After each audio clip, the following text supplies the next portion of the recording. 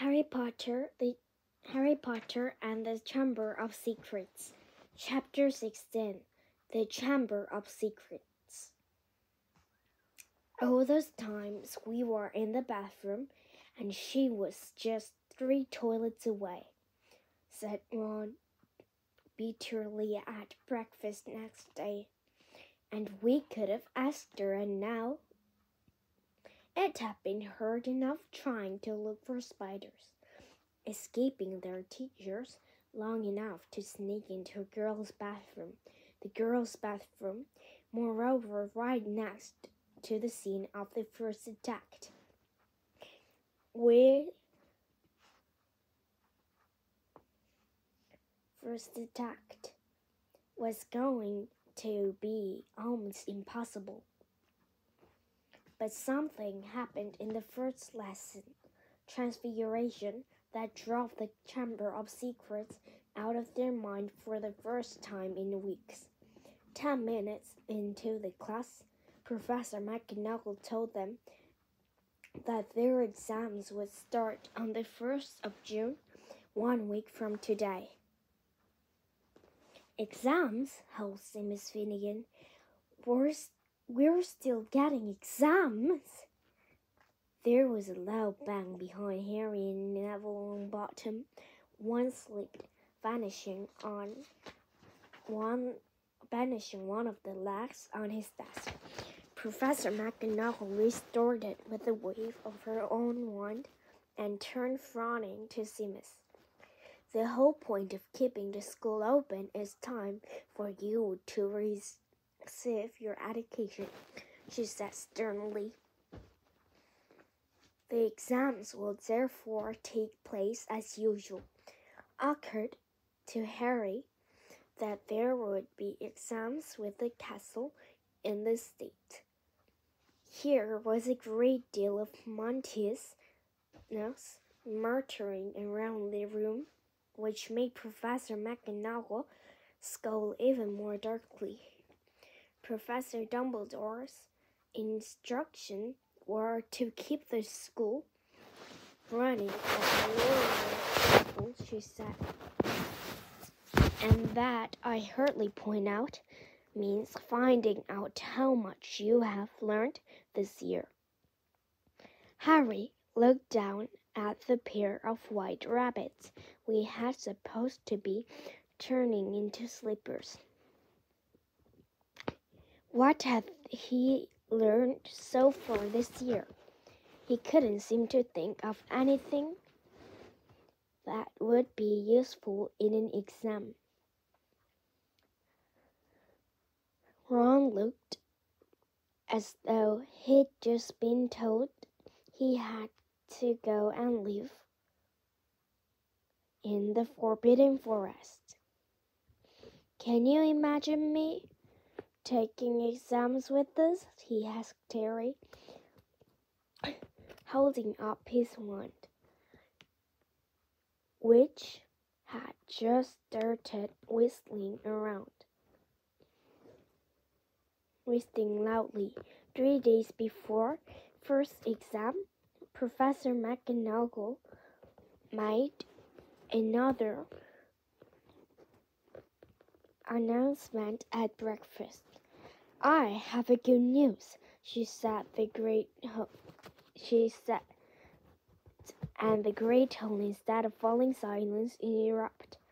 Dumbledore's coming back! Several people yelled joyfully. You've caught the hair of Slytherin! squealed the girl of the Ravenclaw table. Quidditch matches are back on! roared Wood excitedly. When the hubbub had subsided, Professor McGonagall said, Professor Sprout had informed me that the mandrakes are ready for cutting at last. Tonight we'll be able to revive those people who have been petrified. I need hurriedly remind you all that one of them may well be able to tell us who or what attacked them. I am hopeful that this dreadful year will end with our catching with Kermit. There was an explosion of cheering.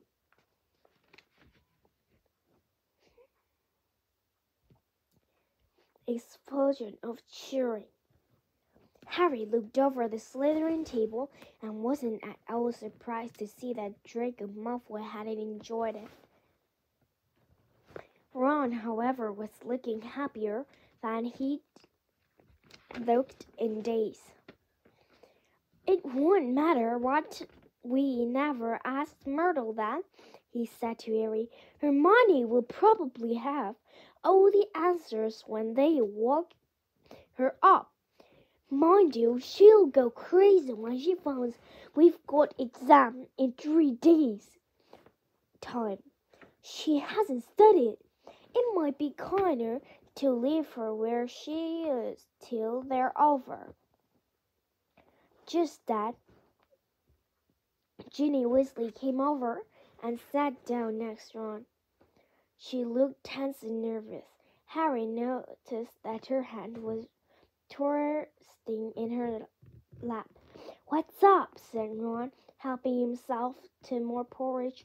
Ginny didn't say anything, but glanced up and down the Gryffindor table with a scared look on her face that reminded Harry of someone. Thought he couldn't think who. Spit it out, said Ron, watching her.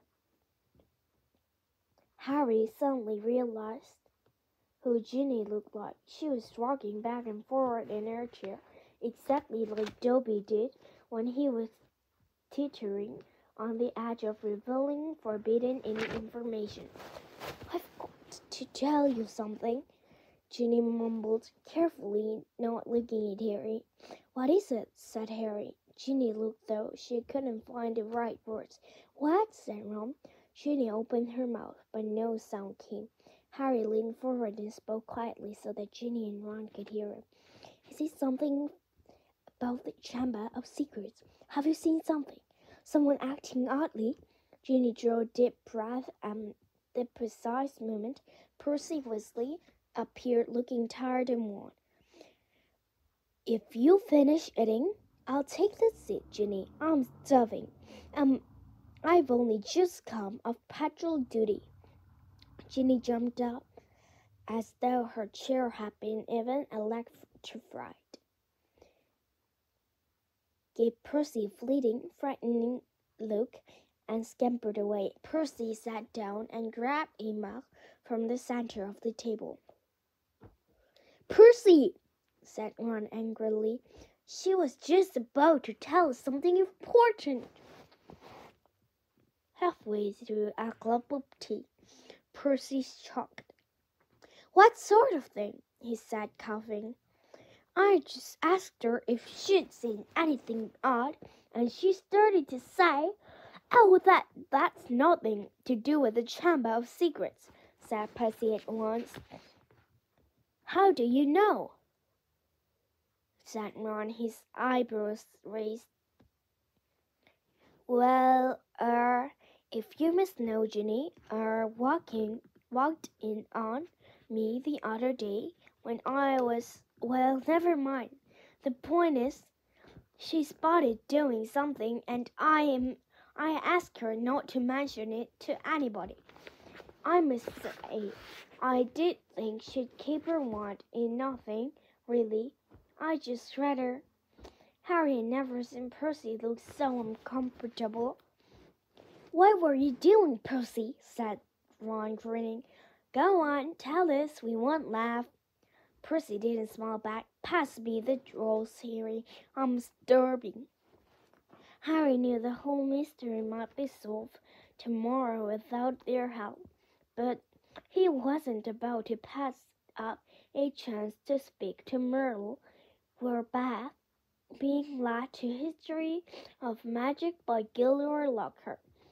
Lockhart who had so often assured that all danger had passed only to prove wrong right way away was now wholeheartedly convinced that it was hardly worth the trouble to see them safely down the corridors.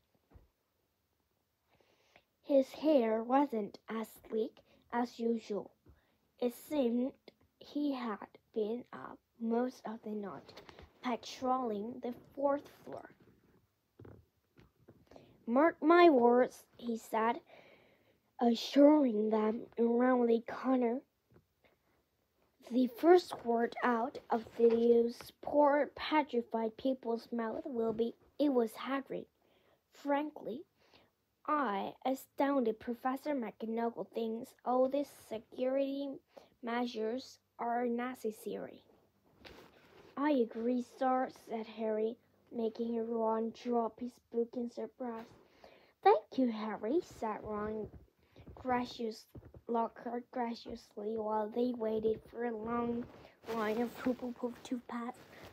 I mean, we teachers have quite enough to be getting on with without walking student to class and standing guard all night. That's right, said Ron, catching on. Why don't you leave us here, sir? We've only got one more quarter to go. You know, Weasley. I think I will, said Lockhart. I really should go and prepare my next class. And he hurried off. Prepare his class, Ron sneered after him. Gone to curl hair more like. Curl his hair more like. They let the rest of the Gryffindor draw ahead of them, then darted down the side passage and hurried off toward Moaning Myrtle's bathroom. But just as they were congratulating each other on the brilliant scheme, Potter, Weasley, what are you doing? It was Professor McGonagall, and her mouth was the thinness of this line. We were, we were, we were going to go, to go and see Hermione, said Ron. Ron and Professor McGonagall both looked at him. We haven't seen her for ages, Professor. Harry went on hurriedly, treading on Ron's foot, and we thought we'd sneak into the hospital wing, you know, and tell her the mandrakes are nearly ready, and not to worry. Professor McGonagall was still staring at him, and for a moment Harry thought she was going to explode, but when she spoke, it was a, a strangely croaky voice. Of course, she said. Harry, amazed, saw a tear glistening in her pretty eyes. Of course, I realize this has all been heard on the front of those who have been. I quite understand, yes. Potter, of course you might visit Mr. Granger.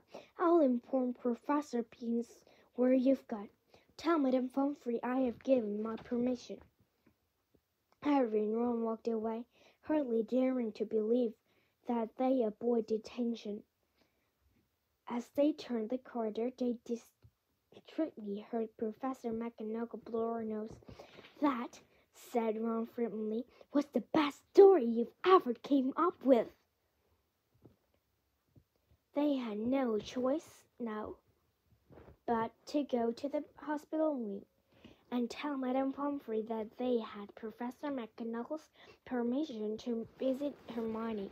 Madame Pomfrey let them in, but reluctantly. There is no, just no point talking to a petrified person, she said. And they had to admit she had a point when they'd taken their seats next to Hermione.